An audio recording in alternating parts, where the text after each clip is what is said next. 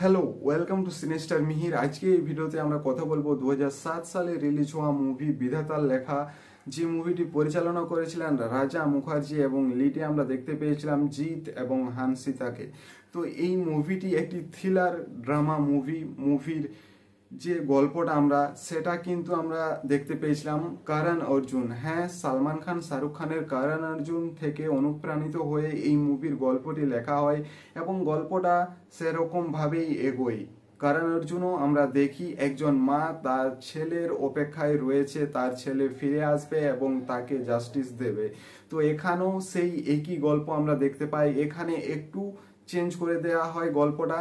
তো এখানে বিধাতার লেখাতে যে গল্পটা আমরা দেখতে পাই, এখানে একজন মা, একজন বাবা এবং তার ছেলে রয়েছে এবং যে একটা ছেলে রয়েছে, তার বড় ছেলে, সে তার প্রথম পক্ষের সন্তান এবং ছোট ছেলে তার দ্বিতীয় পক্ষের সন্তান এবং বড় যে ছেলেটা রয়েছে, যার প্রথম পক্ষের যে সন্তানটি রয়েছে, সে দ্বিতীয় পক্ষের সন্তানকে কোনোদিনও মেনে নেয় না এবং তার সম্পত্তির জন্য, তার বাবার সম্পত্তির জন্য তার ভাইকে সে মেরে দেয় এবং বাবাকেও মেরে দেয় এবং তার মাকে বাঁচিয়ে রাখে।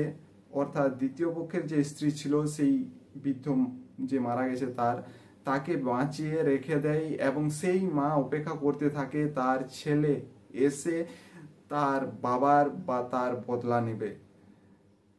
তো বেসিক একটা গল্প এবং করণ অর্জুনের থেকে হুবাহু সেই আইডিয়াটা কপি করে এই মুভিটি বানানো হয়েছিল। সিম্পল একটা ব্যাপার।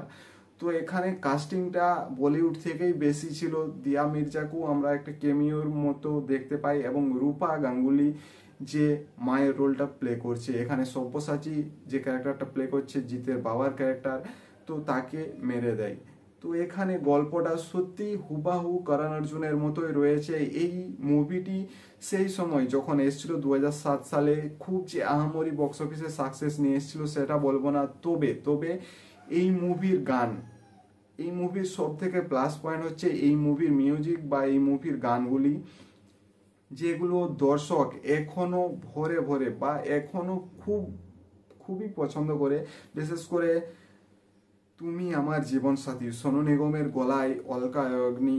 তো এই গানটি দুর্দান্ত লেভেলে সাড়া ফেলেছিল সেই সময় এবং এখনও এই গানটির হাইপটা একদম উপরেই রয়েছে।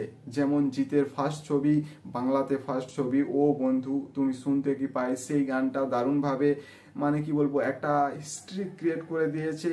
ওই গানটি শুনলে যে কোনো মানুষ মুখে মুখে গুনগুন করতে থাকে। এই মুভির ক্ষেত্রেও এই গানটি শুনলে সকলেই এরকম একটা গুনগুন করে গানটি গাইতে থাকে। এই গানটির হেলোটোন রিংটোন প্রত্যেকটি জায়গায় এই গানটি আমরা ব্যবহার হতে দেখেছি এবং এই মুভির ডান্স নাম্বার বিধাতার যে হাতে লেখা। দুটো গান এই মুভির হাইলাইট পয়েন্ট এই দুটি গানের জন্যই মুভিটি হয়তো দর্শক চিনে। কেননা এই মুভিটি আমার মনে হয় না খুব একটা পপুলারিটি পপুলারিটি লাভ করতে পেরেছিল বা খুব যে দর্শক পছন্দ করেছিল সেটা কিন্তু নয়। কিন্তু এই গানগুলির জন্যই মুভিটির দর্শক চিনে থাকে। তো গানগুলি দুর্দান্ত লেভেলের ছিল এবং প্রত্যেকটি গান দারুণভাবে সাড়া ফেলেছিল।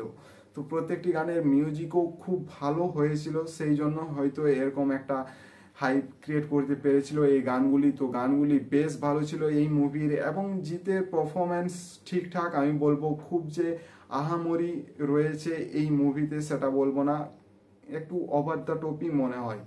তো এখানে জিৎ ছাড়াও বলিউড থেকে নায়িকা রয়েছে, বলিউড থেকে ভিলেন রয়েছে, তাদের পারফরমেন্সটাও ঠিক ছিল, কিন্তু জিদ্দা সেই সময় দাঁড়িয়ে এই মুভিতে তার পারফরমেন্সটা একটু ফিকেই মনে হয়েছিল তাদের কাছে।